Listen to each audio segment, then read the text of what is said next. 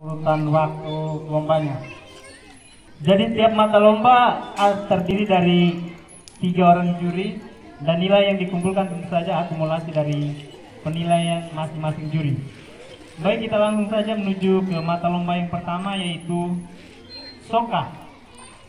Para ketiga untuk kelompok bawah dari kelas 1 sampai 3 juara ketiga adalah kelas 1 kita berikan tepuk tangan untuk kita adalah kelas 3 Itu untuk kelompok bawah sudah jelas jatuh ke kelas 2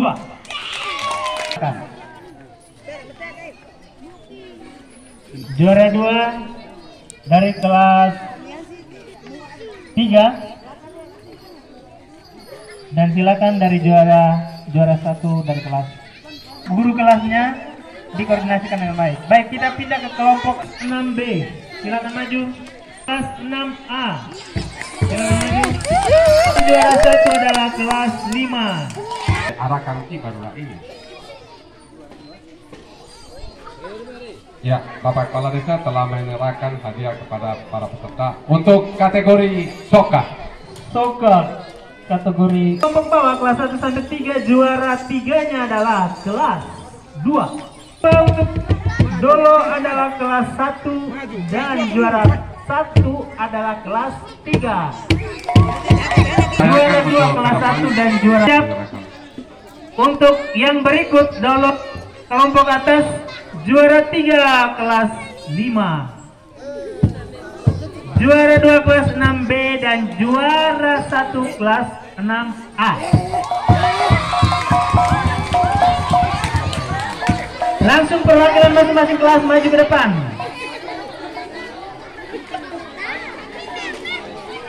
Kelas 6B juara 2, kelas 6A juara 1. Selanjutnya, piagam kepada peserta yang menjuarai kategori Kelas 5 juara 3, kelas 6B juara 2 dan kelas 6A juara 1. Juara 2 kelas 6B dan juara 1 kelas 6A. Oke, kita beralih kelas 1 juara juara 1 kelas 1. Dopi taruh ke anak. kelas 6 kelas juara 1 kelas 4 juara 2 kelas 5 dan juara 3 kelas 6A Satu orang yang maju jadi mata lomba berikut. Juara 1 maju kelas 4. kelas 4 juara 2 kelas 6 dan juara 1 kelas 6B Sama semua. Dipersilakan untuk ke depan.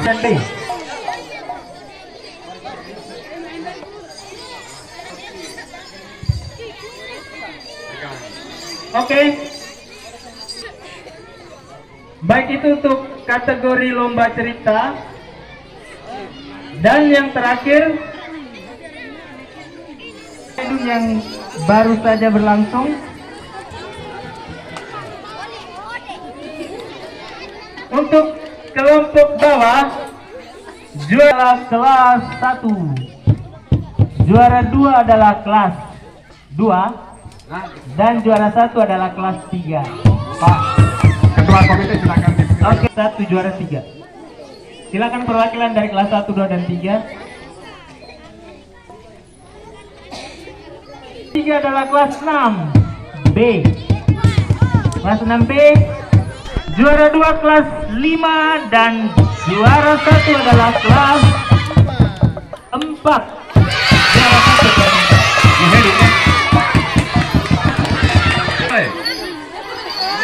Dan juara 3 kelas 6B.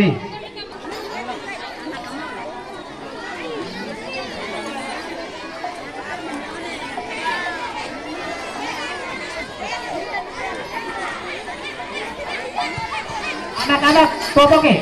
Anak-anak, orang berat kursi ke? Apa apa? Berat kursi ke?